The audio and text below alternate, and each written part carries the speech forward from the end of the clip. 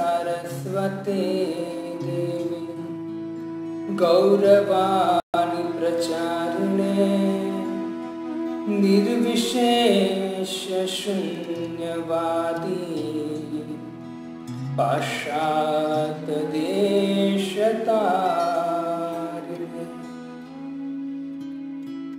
नमो महावदान्याय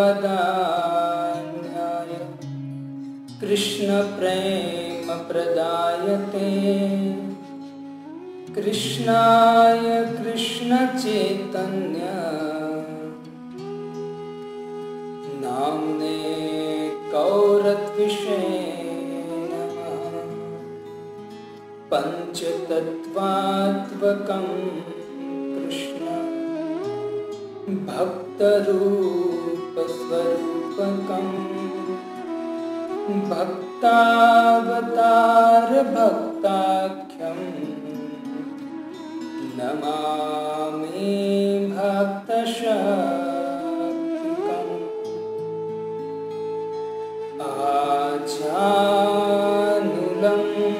आचानुलम्बितभुजो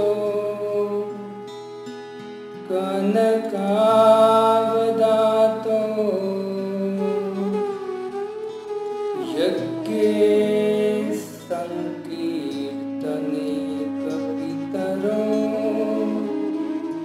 कमलायताक्ष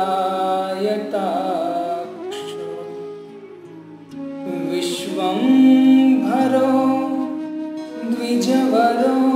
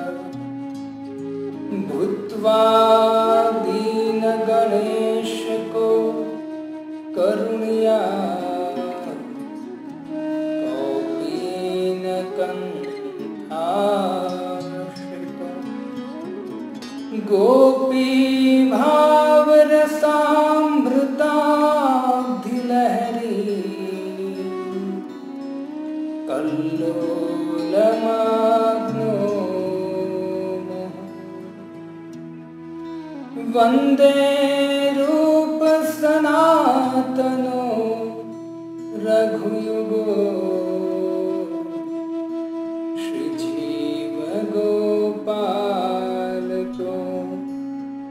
हरे कृष्णा। कृष्ण।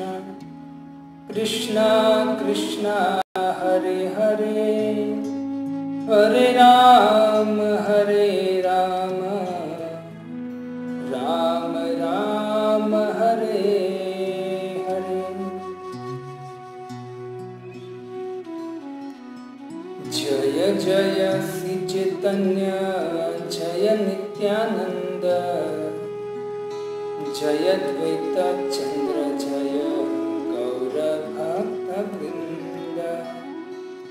जय जय श्री चैतन्य जय नित्यानंद जयद्वैत चंद्र जय गौरभक्तवृन्द। जय जय श्री चैतन्य जय नित्यानंद जयद्वैत चंद्र जय गौरभक्तवृन्द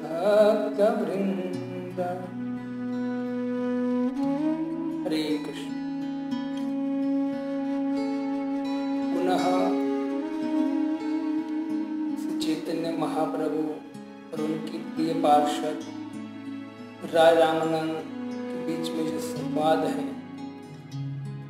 जो संवाद प्रेम की पराकाष्ठा से भी ऊपर तक का संवाद है।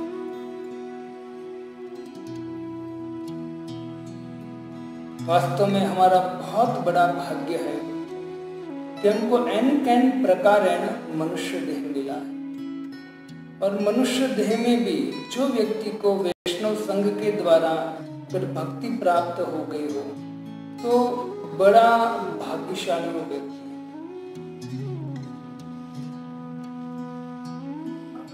श्री चैतन्य चरितामृत कविराज गोस्वामी कहते हैं, ब्रह्मांड भरी ते के हो भाग्य के हो तरे।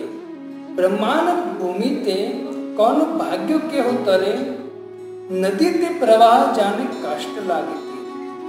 कौन ऐसा भाग्यवान व्यक्ति है जिस तरह एक नदी के प्रवाह में, जैसे नदी बहती है, नदी के प्रवाह में एक लकड़ा तैरता है।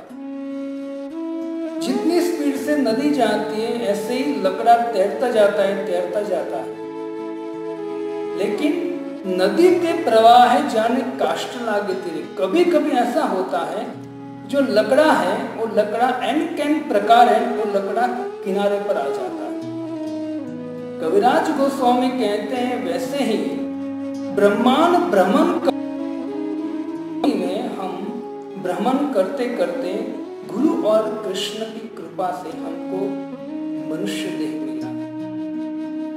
जिस तरह से नदी में काष्ट किनारे पर आ जाता है, कोई कारणों वैसे ही बड़े भाग्य के द्वारा भगवान गुरु वैष्णव की कृपा से हमको मनुष्य देह मिला तो हम इस भाव सागर रूपी नदी जो मतलब नदी है भाव रूपी, उस नदी के किनारे मतलब हमको मनुष्य देह मिला तो बहुत भाग्यशाली है। और मनुष्य देह की सार्थकता है कि हम भगवान के बताए गए उपदेश के द्वारा भगवान की कृपा प्राप्त करने के लिए उनके आदेश का पालन करें और भक्ति तो वास्तव में हम बहुत भाग्यशाली हैं पुनः कहता हूँ आपको कि चैतन्य महाप्रभु के नज़दीक हम हैं एकदम। और इस भव सागर को पार करने के लिए हमको सुदृढ़ नौका मिल गई है मनुष्य इससे इस भव सागर को पार करने के लिए हमारे पास एकदम अनुकूल चीज़ है, वो है शरीर, मनुष्य शरीर।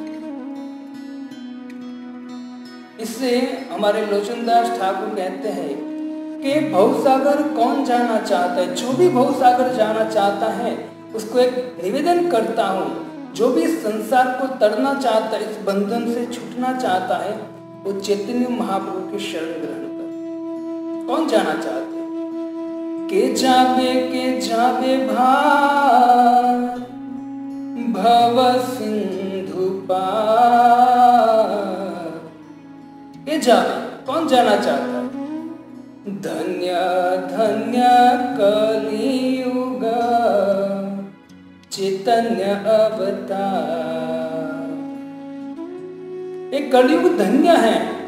उसके लिए धन्य है जिनका जन्म कलयुग में मनुष्य योनि में हुआ है। वो धन्य है। क्यों धन्य है? क्योंकि धन्य धन्य कलयुग। एक तो कलयुग धन्य है और कलयुग में प्रकट होने वाले मतलब देह धारण, मनुष्य देह धारण करने वाले, उस जीव को धन्य है। क्यों? धन्य धन्य कलयुग श्री चैतन्य अवतार। क्योंकि उस युग में कौन आया है? स्वयं चैतन्य महाप्रभु।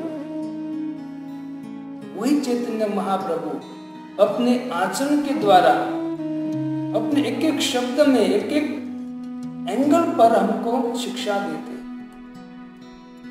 चैतन्य महाप्रभु राय रामानंद से संवाद चल रहा। है जब राय रामानंद ने बोला कि वर्णाश्रम धर्म हिसार है चैतन्य महाप्रभु ने बाह्य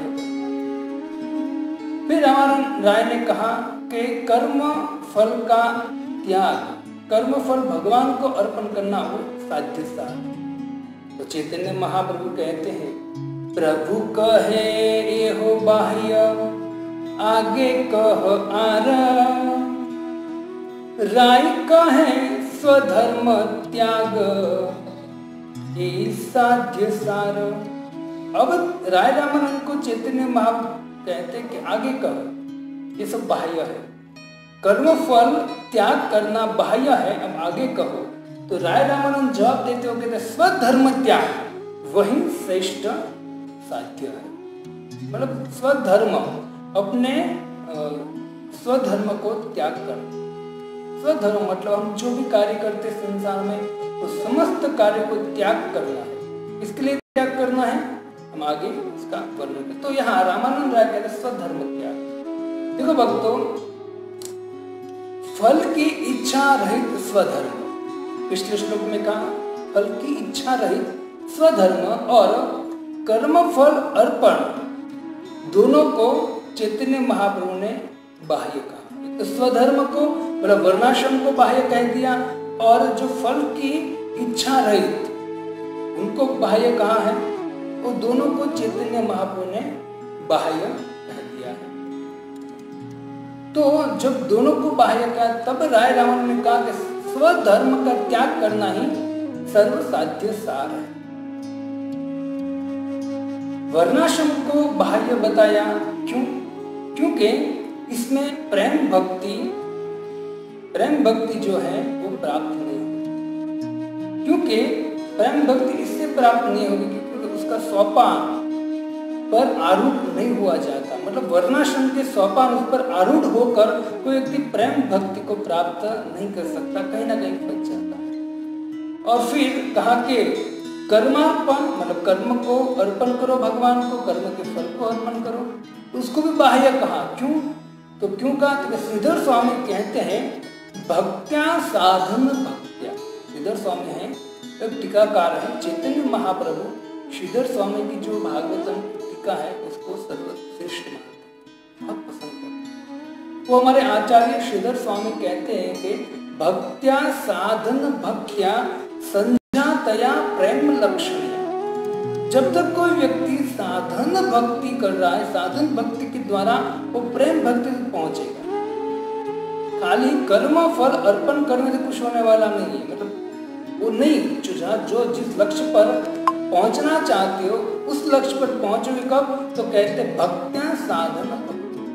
भक्त को साधन भक्ति करनी पड़ेगी। वो साधन भक्ति करेगा, साधन भक्ति ही आपको भाव भक्ति तक ले जाएगा और भाव भक्ति ही आपको प्रेम भक्ति हम सिंधु आप पढ़ेंगे तो आपको क्लियर होगा। तो सिद्धर स्वामी कहते हैं कि कलयुग का, कलयुग में साधन करना बहुत ज़रूरी है, वही आपको प्रेम भक्ति तक पहुंचाएगा। इसलिए अभी हम साधक भक्त है।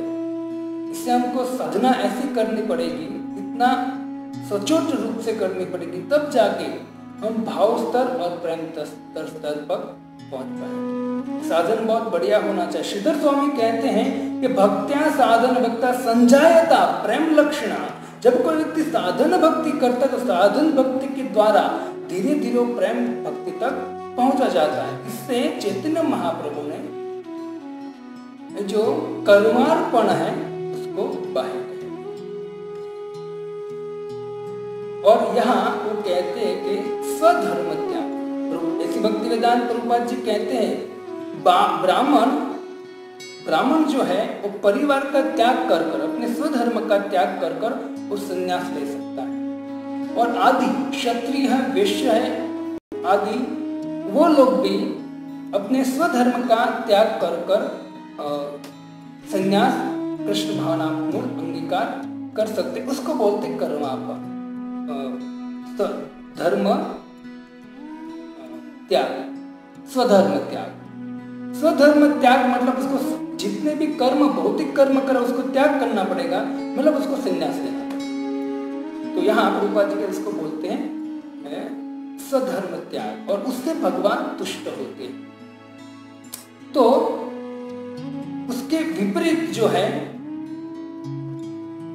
उसके विपरीत कर्म फल का त्याग करने की पद्धति विपरीत है, रूपा जी कहते हैं लेकिन फिर भी मनुष्य भौतिक कर्म से संलग्न रहता है। अतः चैतन्य कर्म फल त्याग को बाह्य कहते क्योंकि वर्णाश्रम धर्म और कर्म फल त्याग दोनों में जो जीव है, वो जीव भौतिक कर्म में लिप्त रहता है।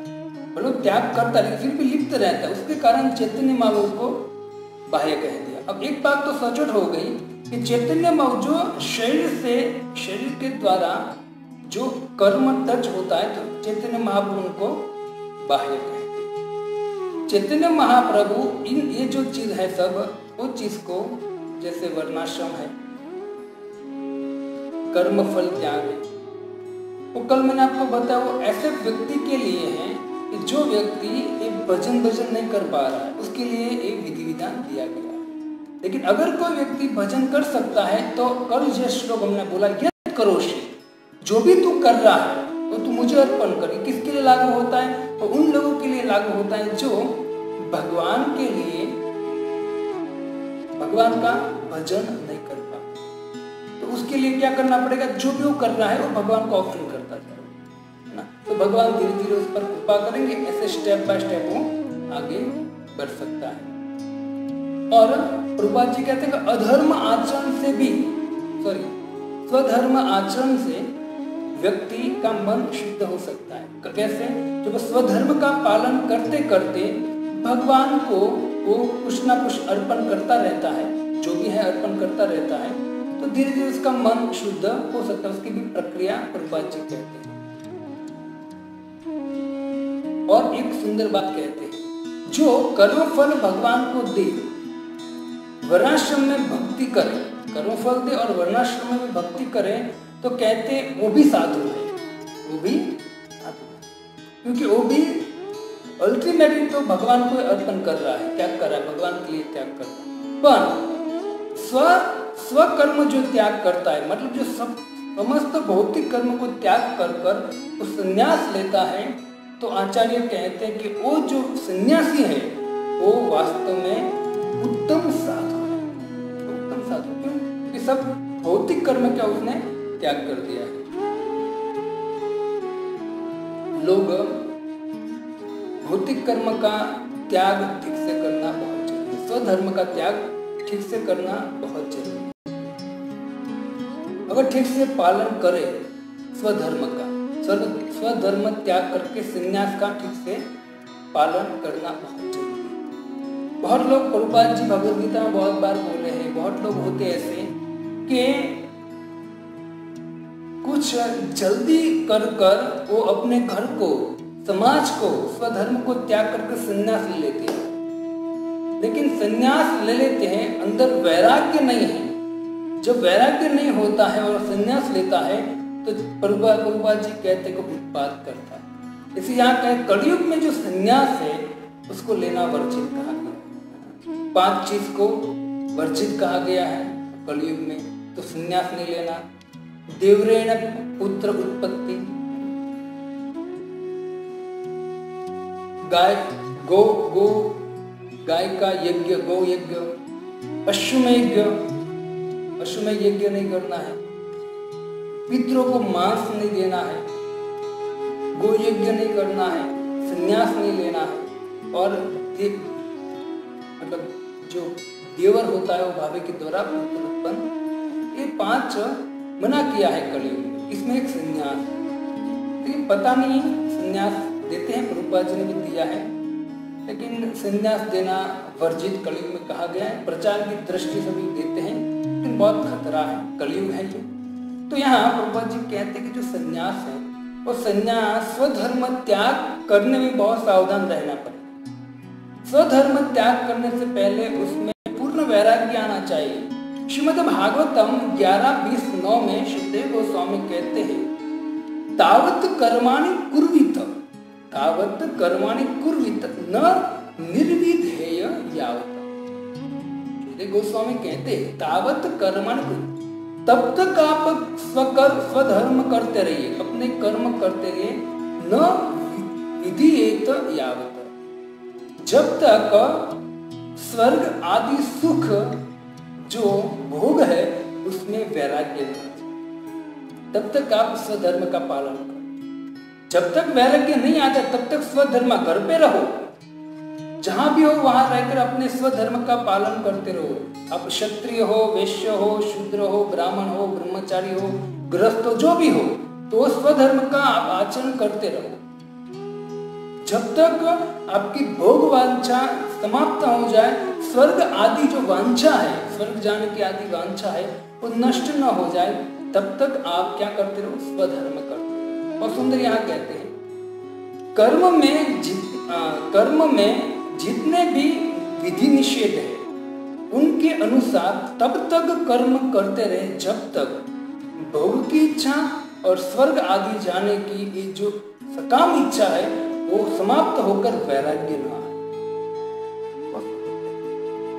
इसे बहुत वैराग्य बहुत ज़रूरी विधि निषेध, जो कर्म कर्म का विधि निषेध है। कर्म में आपको कहा ये कर्म करना चाहे, ये कर्म नहीं करना चाहे, वो शास्त्र में लिखा वो विधि निषेध के अनुसार आप कर्म करते रहो। शास्त्र के अनुसार तो ध्यान से सुनिए आप। शास्त्र के अनुसार विधि और निषेध क्या करना चाहे, कैसा कर्म करना चाहे, कैसा नहीं करना चाहिए और दोनों के अनुसार आप कर्म करते रहो। ऐसा नहीं है कि नहीं करना कर्म, नहीं करने को कहा है कर्म वेद ने जो विधि कहा है, वो करना है, निषेध कहा है, वो नहीं करना है। इस अनुसार जब व्यक्ति कर्म करता रहेगा और करते करते जब उस कर्म में उनको भोग आदि, स्वर्ग आदि, जो कामना है काम कामना है वो जब तक नष्ट न हो जाए और वैराग्य उत्पन्न न हो, तब तक उनको और आगे कहते, अथवा हमें कहते, अथवा जब तक मेरे श्रवण कीर्तन में श्रद्धा न हो जाए, भगवान की कथा में रुचि न आ जाए, है ना? रुचि का अभाव है, तब तक उसको क्या करना चाहिए? भगवान का स्वधर्म का पालन करना अगर वो व्यक्ति। जी कहते अगर वो व्यक्ति स्व धर्म का त्याग कर देगा। वैराग्य नहीं आया, फिर भी कर देगा और संन्यास ले लेगा। तो प्रभुपाद जी कहते हैं कि वो निर्वेद भाव से स्वकर्म का त्याग करेगा तो व्यक्ति निश्चित भ्रष्ट हो जाएगा। संन्यास से भ्रष्ट हो जाएगा। अभी आप देखें, संसार में से अनेक लोग हैं जो अपने घर को छोड़ चुके हैं। एक सीधी फैक्ट बात मैं आपको कहता हूँ। मैंने देखी हुई अनेक लोग हैं जो घर, अपने घर को छोड़ देते हैं। बीवी बच्चे, पैसे, जो भी है, अपनी जो भी छोड़ देते हैं और जंगल में चले जाते हैं। लेकिन उनके अंदर, बाहर से तो वैराग्य आ गया है। चलो क्या छोड़ देते अंदर से वैराग्य, भक्ति नहीं है, वैराग्य नहीं है तो व्यक्ति उत्पाद जब व्यक्ति में वैराग्य नहीं होता, वैराग्य कैसे आता है? मरकट वैराग्य की बात नहीं करते जैसे मरकट। हम स्मशान में जाते तो स्मशान में कोई मर्दा चलता है तो तब हमको वैराग्य आ जाता है। अरे बाप रे मर, मर गया तो हम भी मरेंगे एक दिन। तब हमको वैराग्य आ जाता है। जैसे हम बाहर निकलेंगे स्मशान से तो क्या होगा? वापस हम जैसे। तो इस तरह से अगर कोई व्यक्ति करेगा ऐसा जो वैराग्य है वो बाहर से दिखावा करेगा और स्वधर्म का त्याग करेगा और संन्यास ग्रहण करेगा, निश्चित उत्पाद एक तो पूरा, पहले तो ये कि अपना भला करने के लिए उसने घर छोड़ा था। वैराग्य नहीं है, फिर भी घर छोड़ा था। जैसे ही बाहर जाएगा, जंगल में जाएगा, पहले तो अपना ही भला नहीं कर पाएगा। और दूसरा, जब वो अपना भला नहीं कर पाएगा वैराग्य नहीं है तो निश्चित, जब वैराग्य नहीं है तो भोग की इच्छा तो होगी। इसलिए वो क्या करेगा, अब मन इतना दुष्ट है, क्योंकि जहाँ भी जाएँगे, हमारा मन निश्चित आएगा। इससे मन से वैराग्य बहुत ज़रूरी है। रूपा जी कहते हैं इसलिए वेद का विषय, निधि विशेष जो विधि निषेध है, उसका पालन करना चाहिए। और जब उसमें वैराग्य आए, वो कैसे आएगा? वो भी आगे प्रभुपा जी कह, भगवान कहते हैं, श्रवण कीर्तन के द्वारा। जब मेरे श्रवण कीर्तन में कोई व्यक्ति नवधा भक्ति में रुचि आ जाएगी तो वो प्रक्रिया करते करते अचानक अनायास उनको वैराग्य प्राप्त होगा। और जब उनको वैराग्य प्राप्त होता है तो उनको संसार में से रस एकदम फिका हो जाता है। तब वो व्यक्ति अंदर से इच्छा होते कि नहीं, अब मुझे स्वधर्म का त्याग करना है। तो वैराग्य के द्वारा जब वो त्याग करता है, संन्यास लेता है, तब वो सन्यासी का कर्तव्य होता है कि समाज का कल्याण करे। तब वो समाज का कल्याण कर सकता है। वरना समाज में जाने के बाद भी वो उत्पाद करेगा। व्यभिचार में लग सकता है, नशे में लग सकता है। अब गुजरात में जाइए। बहुत ऐसी जगह है, गुजरात में, वैसे बहुत सभी जगह है, कि लोग घर से परेशान होकर अपनी भरण पोषण करने के लिए, है ना, साधु बनने बनने का प्रयत्न करते लेकिन बाहर से, कपड़े से तो वैराग्य आ जाता है, लेकिन अंदर से वैराग्य नहीं है तो ऐसा वो आचरण करता है कि समाज उस पर थूकता है, समाज उसको गालियाँ देता है। और उन उनके उनको उन, उनको ध्यान में रखकर जो सच्चे साधु हैं जो भगवान का वास्तविक भजन करता है वेद शास्त्र को फॉलो करता है समाज उनको भी गालियाँ देता है। इसे सावधान रहना चाहिए। स्वधर्म आचरण तब करना चाहिए इसी भक्ति वेदांत स्वामी श्री रूपा जी कहते जब व्यक्ति वेदों के द्वारा विधि निषेध का पालन करते करते जब उनको वैराग्य आए, स्वर्ग आदि भोग की इच्छा से मुक्त हो जाए और हृदय में वैराग्य आए और भगवान के श्रवण और कीर्तन कथा में रुचि आई तब जाकर उनको स्वधर्म का पालन करना चाहिए, वरना बात करेगा। और वो भ्रष्ट हो जाएगा वो वो तो भ्रष्ट हो जाएगा, चलो कोई बात नहीं, भ्रष्ट हो गया, एक ही। लेकिन हो सकता है कि भ्रष्ट मन से, हृदय से भ्रष्ट हो चुका है। लेकिन भोग के कारण से इच्छा करता कि नहीं, चलो कोई बात नहीं। भगवे कपड़े पहने तो उससे बहुत लाभ होता है। तो अंदर से भले कुछ वैराग्य नहीं है, भोग भी है। तो बाहर से हम दिखावा करें, ठगे लोगों को। रूपा जी कहते कि बहुत बड़ी दुर्घटना। व्यक्ति अपने आप को ठग रहा है, सामने वाले को नहीं ठग बहुत सजा मिलेगी उनको भगवान के दरबार तो रूपा जी यहाँ बहुत कहते हैं कि जो भगवान में कथा कीर्तन श्रवण का में रुचि आनी चाहिए इसे तो श्रीमद भागवतम में आ, कहते हैं कि स्वधर्म का आचरण कर कर वैराग्य आता है। क्यों वैराग्य आता है? क्योंकि जब हम भगवान के विषय में श्रवण कीर्तन करते हैं तब तब वैराग्य तब हमको कर्म को क्या करना है? त्यागना है। तो कहते धर्म स्वनुष्ठित पुंसा विश्व सैन कथा। अगर हम कोई भी धर्म का पालन करते हैं, लेकिन अगर भगवान की कथा में विश्व भगवान का नाम है, उसमें अगर रुचि नहीं आई धर्म स्वनुष्ठित पुंसा विश्वक सैन कथा सुय न उत्पाद यति रति श्रम एवं अगर उत्पन्न नहीं होती, रति उसकी उत्पन्न नहीं होती तो श्रम कर रहा है, कर रहा है। स्वधर्म का आचरण करते करते वेद वेद जो कहता है ऐसे आचरण करते विधि निषेध करते करते हमारी रुचि श्रवण कीर्तन में आएगी तब जाके वैराग्य आएगा। चैतन्य महाप्रभु को क्या दे, दे, देना है? वैराग्य विद्या निज भक्ति हो। हमें वैराग्य आए।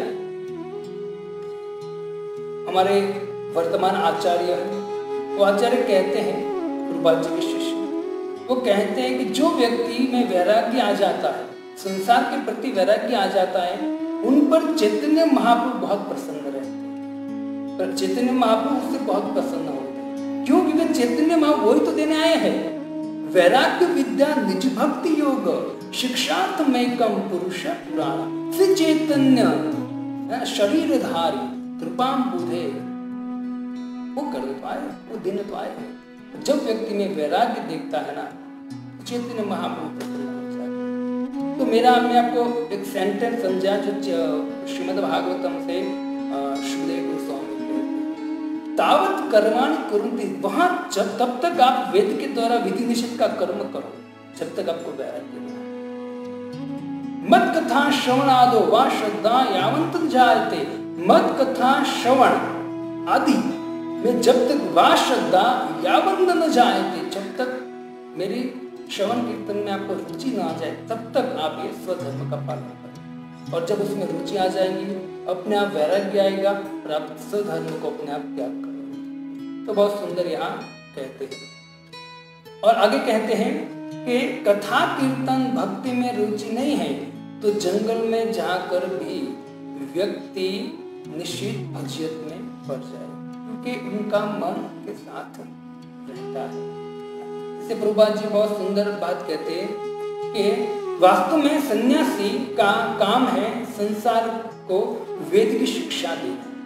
लेकिन वेद का सार अंदर से वैराग्य न आया हो तो वेद का सार कैसे प्राप्त कर सके और कैसे दे सकेगा वेदों का जो सार है ना, वो कैसे दे सकेगा? इससे कहते हैं कि एक अज्ञ व्यक्ति होता है, एक नास्तिक व्यक्ति होता है, और एक सर्व परित्याग व्यक्ति होता है। अज्ञ व्यक्ति वो है, अज्ञ व्यक्ति वो है जो वेद विहीन नित्य कर्मों का त्याग करता है। वेद विहीन वेद में जो नहीं कहा है, उसका वो त्याग करता है, उसको बोलते हैं अज्ञ।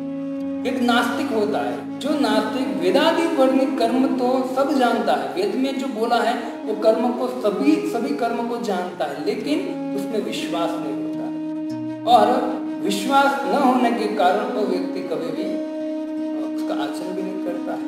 उसको बोलते नास्तिक। ऐसे बहुत लोग हैं कि जो वेद को अच्छी तरह से जानते बड़ी बड़ी व्याख्या करते लेकिन वेद का सार है। क्या है? कृष्ण भगवान है। उनकी भक्ति करना, श्रवण कीर्तन करना, उसमें उनको विश्वास नहीं होता। है इतना वेद पढ़ने के बाद भी अगर उनको वेद के सार में विश्वास नहीं है तो संत कहते हैं कि अगर चार वेद पर पर पर कर वो व्यक्ति अगर सार तक नहीं पहुँचा है तो व्यक्ति व्यर्थ है, जो पड़ा हुआ है, व्यर्थ है। बहुत सुंदर श्लोक कहते हैं, चारों वेद पर पर पढ़ नरके गया नरके गया पढ़ पढ़ चारों वेद अगर कोई व्यक्ति भक्ति के भागवतम मतलब शास्त्र के सार है, कलयुग में हरिनाम संत उसको नहीं जानता है और नहीं फॉलो करता, विश्वास नहीं करता है तो चार वेद पढ़ने के बाद भी वो व्यक्ति का आचरण बहुत नीच हो सकता है और नर्क में जा सकता है। इससे नास्तिक वो व्यक्ति है जो वेद को मानता है, वेद की शिक्षा को भी जानता है, लेकिन उनका सार है, उसमें विश्वास नहीं करता।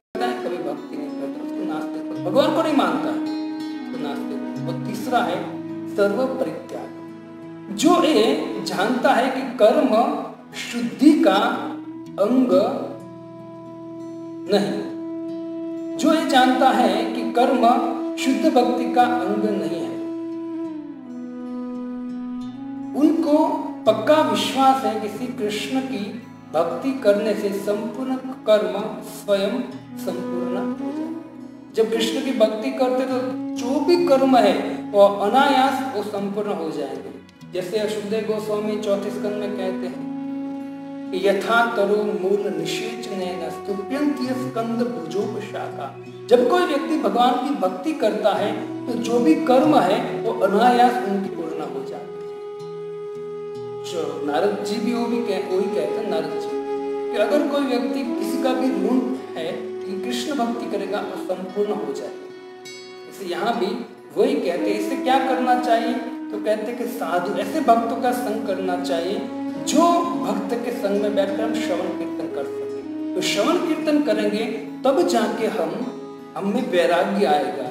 और जब वैराग्य आएगा तो हम धीरे धीरे स्वकर्म का त्याग कर सकते हैं। स्वकर्म का त्याग, स्वधर्म का त्याग हम कर सकते हैं। वास्तव में आज नहीं तो कल भक्तों अगर हम इस जीवन में वैराग्य नहीं प्राप्त करेंगे, भक्ति नहीं करेंगे, दूसरे जन्म मिलेगा, तीसरा जन्म मिलेगा। ऐसा नहीं मनुष्य का ही मिलेगा जब भी मनुष्य का मिलेगा, मौका मिलेगा, जब तक हम भक्ति नहीं करेंगे, भगवान के शरण में नहीं जाएँगे तो जन्मों जन्म हम भटक, जन्मों जन्म तक हम भटकते रहेंगे। और एक दिन तो ऐसा आना ही है कि हमको भगवान की शरण में जाना क्योंकि भगवान की शरण में नहीं जाएँगे, तब तक हमारा उद्धार नहीं खाना पीना सोना पुत्र उत्पन्न करना कुछ नहीं कर इसलिए हमको उसके ऊपर उठकर भगवान की शरण उनकी भगवान की शरण लेने के लिए क्या करना पड़ेगा? साधु के संग में श्रवण और श्रवण कीर्तन जब हम करेंगे ना, तब रति आएगी और रति, श्रद्धा रति के द्वारा धीरे धीरे प्रेम भक्ति तक पहुँच पाएँगे हमारे कपिल भगवान कहते देवती को, माता को कि, सताम प्रसंगा मम वीर संविदो भवंत रित कर्ण रसायन कथा तजोषणानाम अपवर्गवत मनि श्रद्धा, रति, भक्ति, अनुक्रम। जब कोई व्यक्ति श्रवण आदि कीर्तन के द्वारा भगवान का भजन करेगा, साधु के संग में क्या होगा? श्रद्धा, रति, उसमें श्रद्धा बढ़ेगी। श्रद्धा जितनी बढ़ती है, उतनी भक्ति में फोर्स आता है। श्रद्धा की बात रति, किसमें रति आएँगी? भगवान के नाम में, भगवान की कथा में, भगवान की सेवा में। श्रद्धा रति और फिर वो व्यक्ति रति के द्वारा धीरे धीरे शुद्ध भक्ति क्रमशः उस क्रम के द्वारा शुद्ध भक्ति, प्रेम भक्ति को प्राप्त इससे स्वधर्म जो त्याग है, वो तब होता है जब हम वैराग्य हो। हृदय अंदर वैराग्य होना चाहिए। और वैराग्य कभी अपने प्रयत्न से नहीं आता है। वैराग्य एक ही चीज़ से आता है, वो है की वो मैं आगे एकदम क्लियर करता हूँ आपको। भगवत गीता में रूपा जी कहते हैं कि सर्वधर्मान परित्यज माम एकम शरण अहम त्वाम सर्व पापेभ्यो मोक्ष इच्छामि कोई व्यक्ति अगर सब कुछ छोड़ के मेरे श्रम में आ जाता है, समस्त पाप को दूर करके उसको मोक्ष दूँगा। भगवान कहते मेरे श्रम में आ जाओ मतलब क्या है? समस्त कर्मों को त्याग करके मेरे श्रम एक एक वो भी है। एक भी है। समस्त धर्म को छोड़कर मेरे पास आ जाओ। एक बाजू भगवान कहते धर्म का पालन करो, एक बाजू कहते धर्म को छोड़ो। धर्म को छोड़ो मतलब क्या भगवान कहते आप वो धर्म को छोड़ो, जो संसार में आप धर्म को बनाकर बैठे हो।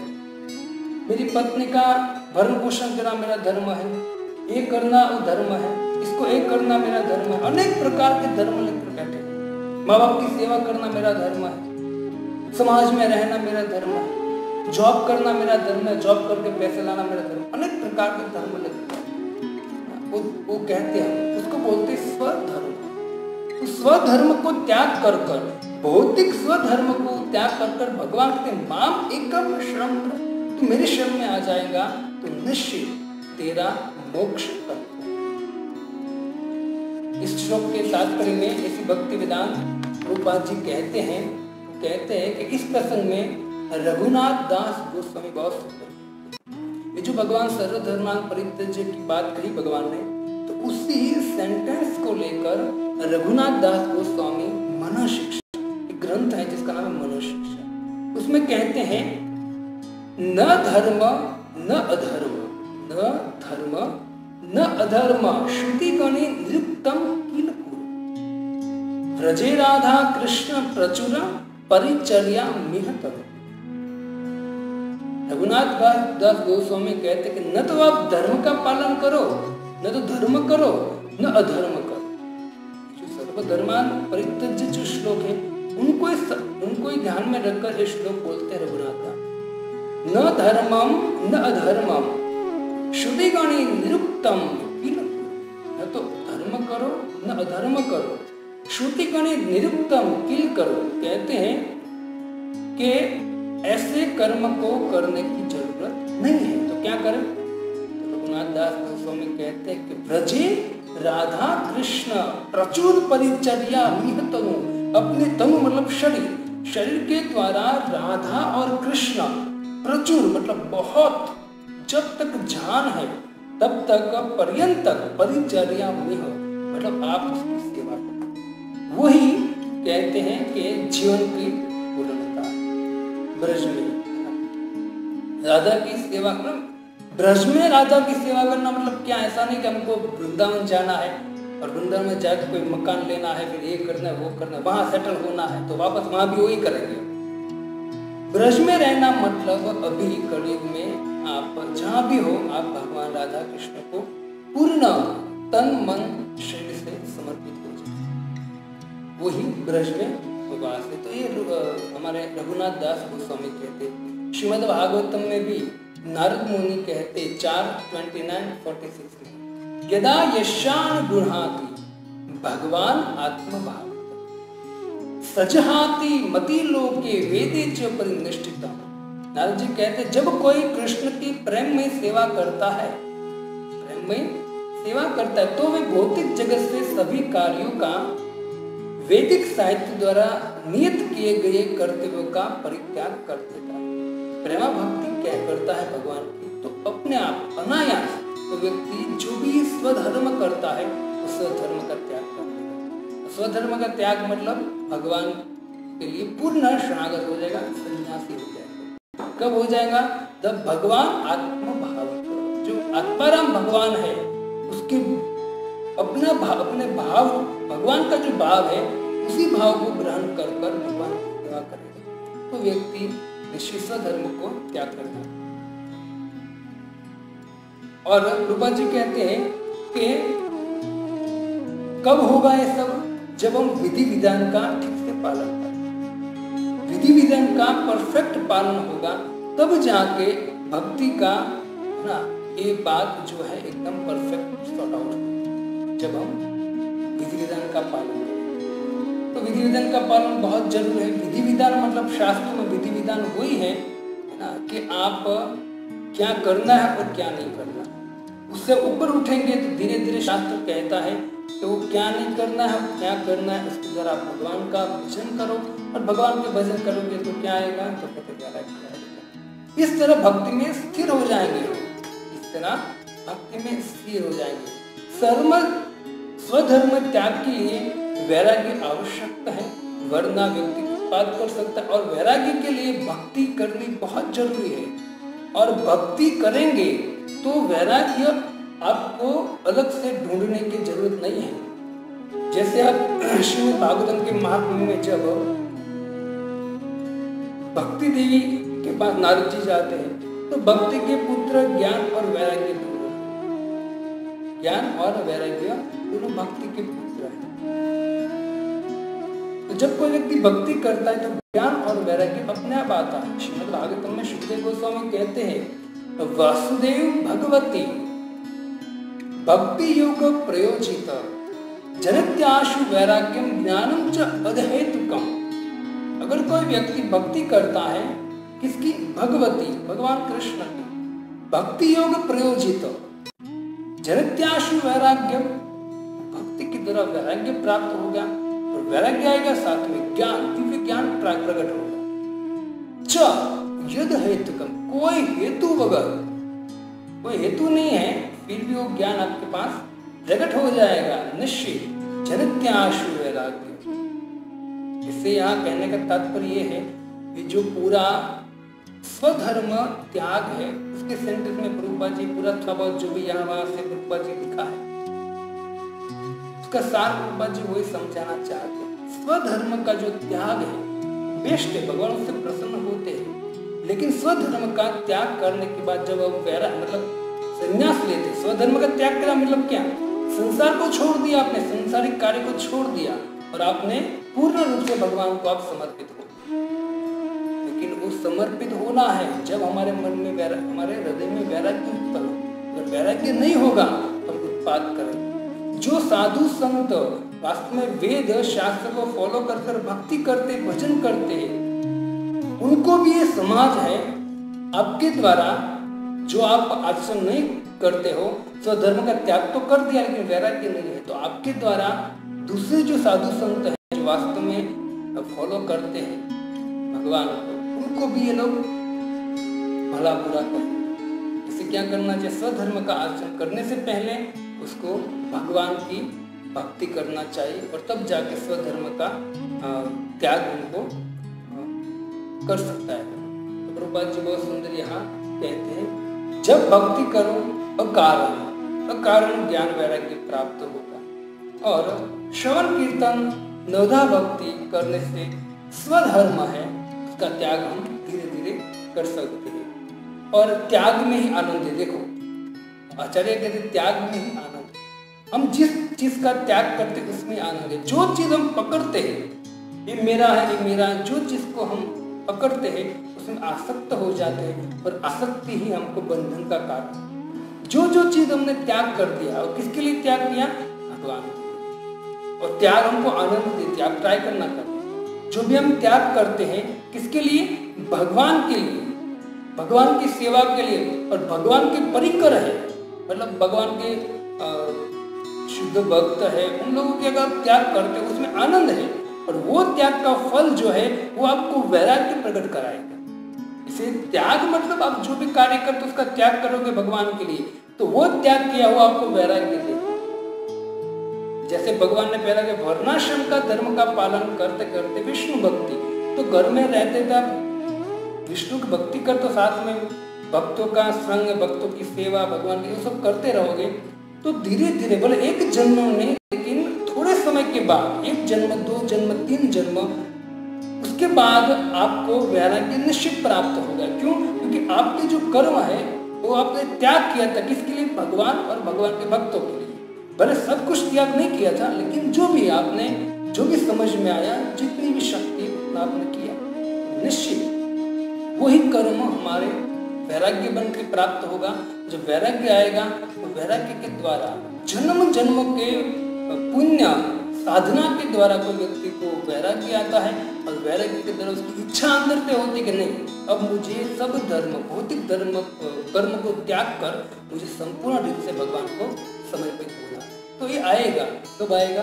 जब हम इस तरह से भगवान की भक्ति करें और इच्छा हो कि नहीं मुझे धीरे धीरे चीज़ को त्याग कर कर उस लेवल पर आना। हमारे इस्कॉन में मतलब समाज में बहुत ऐसे लोग हैं जिनके पास बहुत पैसा है।